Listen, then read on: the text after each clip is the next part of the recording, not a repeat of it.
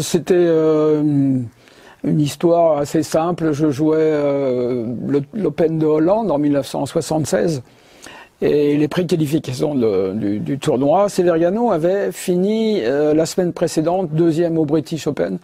Il avait 19 ans, c'est là que le monde entier l'a vu pour la première fois. Et donc la semaine suivante, il jouait en Hollande. Moi, après les pré-qualifs, je les ai joués avec un Colombien. Comme je parlais espagnol, on a déjeuné ensemble et Severiano est passé. Il a entendu, il nous a demandé, il s'est assis avec nous, il a déjeuné avec nous.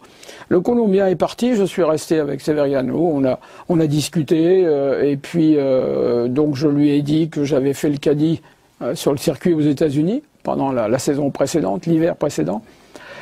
Et voilà, il a, il a continué. Moi, j'ai dû partir au tournoi suivant qui était l'Allemagne. Severiano a gagné la Hollande. Et en arrivant en Allemagne, il m'a demandé si je voulais bien faire son caddie.